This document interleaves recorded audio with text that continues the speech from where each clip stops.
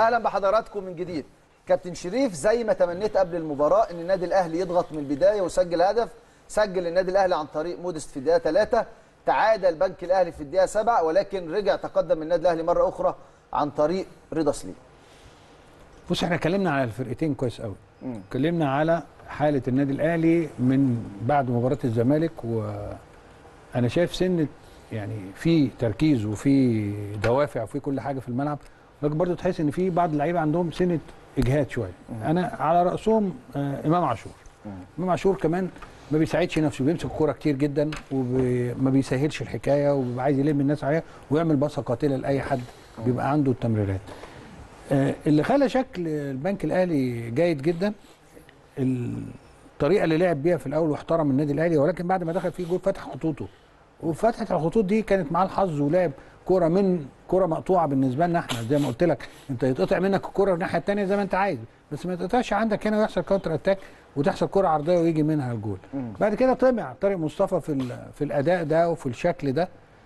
ولكن الفرق اللي هي زي ما كنا بتاعت البنك الأهلي بنتكلم عنها إحنا زعلانين ان هي في المركز ده بس ولكن انت اكتشفت ان بيملكوا محمد هلال ويا أنور وكريم بامبو في حتة والدفاعات بتاعتهم مخترقة جدا. يمكن أيمن أشرف الوحيد اللي عنده إيقاع في المكان وبيحاول يستلم ويستخلص أي هجمات من النادي الأهلي بهدوء في الحتة دي.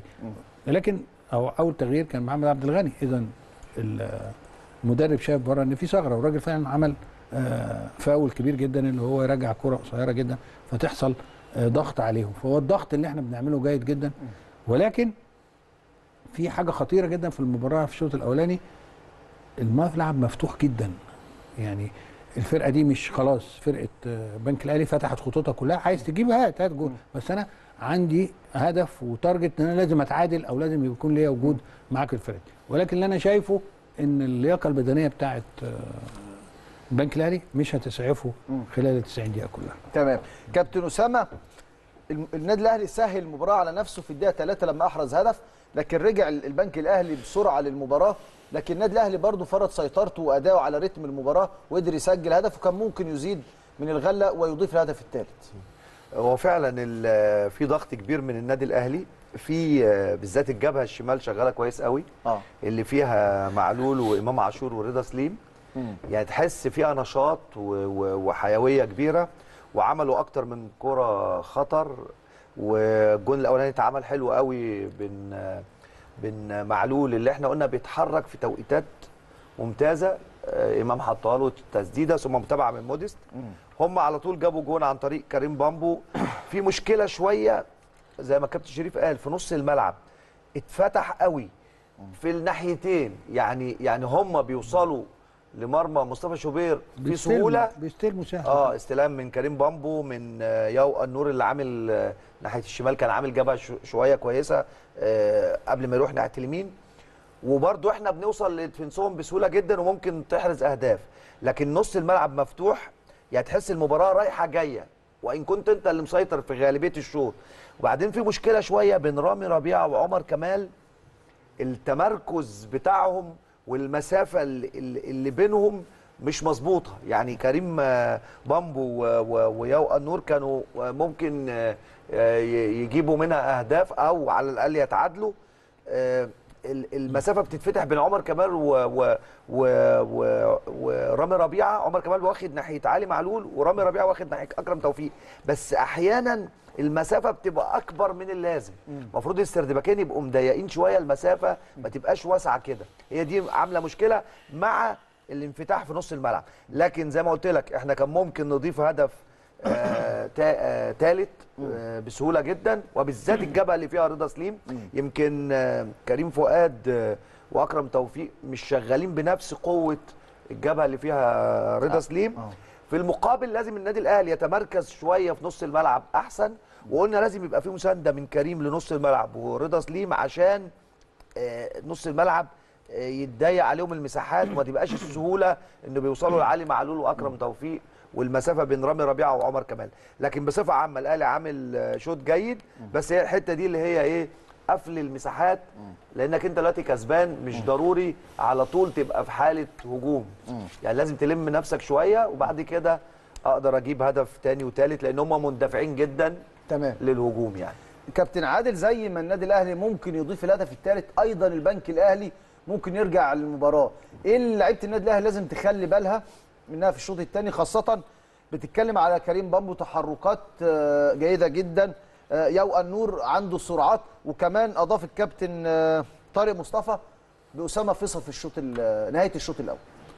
يعني إحنا اتكلمنا قبل الاستوديو قلت لك نص الملعب هيبقى عندك مروان عطية اللي بيدافع والاثنين قفشة وإمام عاشور. حتة الدفاع عندهم أقل شوية. الحاجة الثانية انت بدأت مباراة سريعة شوط سريع جدا ولكن انت خطأ في التمركز من آه، آه كمال آه يعني عشان ما بيلعب آه، ده مكان مش جديد مكانه، آه. آه يعني م- مكان جديد عليه إن أردت إنك أنت تروح بنتيجة كب- كبيرة مع البنك الأهلي تكسب بنتيجة كبيرة يجب إنك أنت تنزل واحد كمان في نص الملعب في الناحية الدفاعية جنب مروان عطية في الوقت ده هتقدر إنك أنت تمتص كل الهجمات اللي هي السريعة بتاعتهم وتشتغل.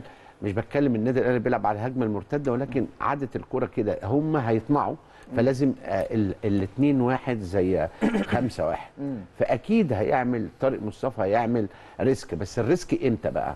مش هيبدأوا من آه من أول الشوط. يبقى سولية ولا كريم نيدفيد يعني لا هو السوليه طبعا في الوقت الحالي. لكن أنا عاوز أكلمك إنه يا كابتن أسامة المهم في الوقت ده إنك أنت تخلي تستفز فرقة ال- البنك بلغة الكرة. تستفزها إزاي؟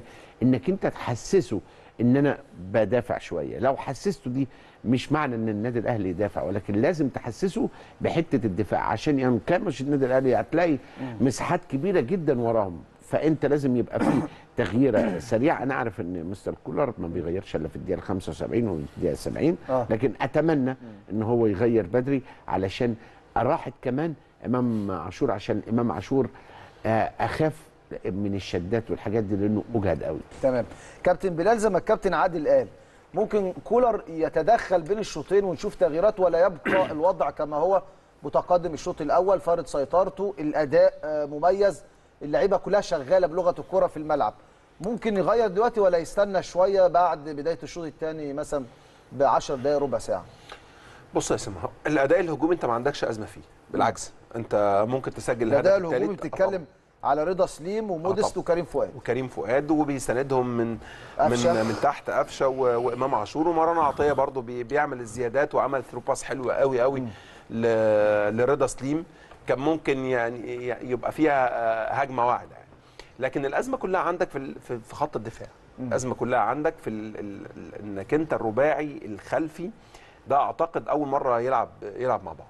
دي رقم واحد. رقم اتنين تجربة جديدة بالنسبة لعمر كمال في في ك centre back.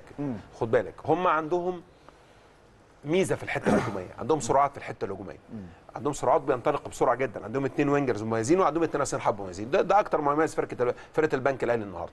وعندهم سرعات وبينطلقوا بشكل كويس وبيقدروا يعملوا ال through pass بشكل كويس وبيعملوا الكرات العكسية بشكل كويس. تمام؟ وجات لهم فرصتين ثلاثة محققين كان ممكن يسجلوا منه اهداف أنا شايف من وجهة نظري الشخصية عشان تظبط الحتة دي كويس لازم تخرج آه، عمر كمال يلعب ال right back وتحط أكرم توفيق أو تنزل محمد هاني.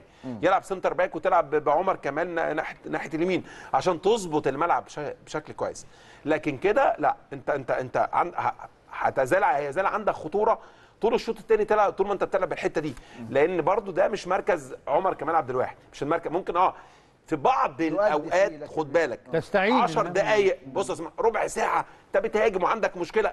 لكن هتستعين بيه في مباراة كاملة بتبني بيها تمام تكتيك أو بتشتغل بيها لا الموضوع محتاج محتاج وقت عشان تعود. عشان يلعب الحتة دي محتاج وقت كتير يا كابتن آه يلعب left back يلعب right back أنت بتلعب على الخط وهو كمان مميز في حتة إيه الانطلاقات والحاجات الطولية إنما النهارده أنت بتتكلم في منطقة حساسة جدا هم مركزين.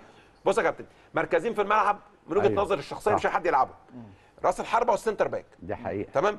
ممكن أي حد يمكن يلعب بكرة. أنا آسف يعني. أي حد يلعب يمكن باك. الراس الحربة أي حد يلعب الواحد يجري رأس حربة. موظف برضه ممكن وينج آه. رايت وينج ليفت. لا. رأس حربة. أنا أقصد أقول إيه؟ رأس الحربة لازم يبقى رأس حربة. بس ممكن يلعب هو وينج.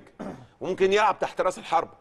إنما النهارده هتحط wing رأس حربة مش هيديك المردود اللي أنت عايزه. فاهم قصدي؟ كذلك ال centre back صعب جدا ممكن centre back يلعب back right على فكرة لكن آه. مش العكس. آه طبعا. مش ال right back يلعب centre back تمام إلا إذا بقى كان لعيب مميز وإمكانياته جبارة وبيلعب بيلعب- بيعرف يلعب بدماغه وعنده مقومات ال centre back فالنهاردة عمر كمال مش بقول إنه سيء بقول إن التحرك خد أيوة بالك طبعاً. خد بالك. الوقفة والتحرك وامتى إمتى ارحل الناحيه دي وإمتى اضغط ورا ده. آه. وإمتى اعمل التغطية وإمتى. اقرب من وإمتى اقرب من رامي ربيعة يعني الموضوع- وقت كبير دي آه طبعا. محتاجة وقت طويل عشان خاطر ينسجم في الحتة دي فأنا رأيي الشخصي عمر كمال من بداية الشوط الثاني يلعب ناحية اليمين وينزل محمد هاني يلعب centre back مش تقليلا من أداء أكرم توفيق. ولكن عدله للملعب وظابطه للأداء بتاعة النادي الأهلي. أخيرا عشان وقتنا نتوقع أهداف آه، الش- تاني الشوط الثاني. آه، زي ما توقعنا الأول أكيد أعتقد إن في أهداف برضه الشوط الثاني الجيم مفتوح ما. بين الفرقتين يا اسامه بشكركم شكرا جزيلا. نروح لفاصل وبعد الفاصل نشوف حضراتكم بعد نهاية لقاء الأهلي أمام البنك الأهلي.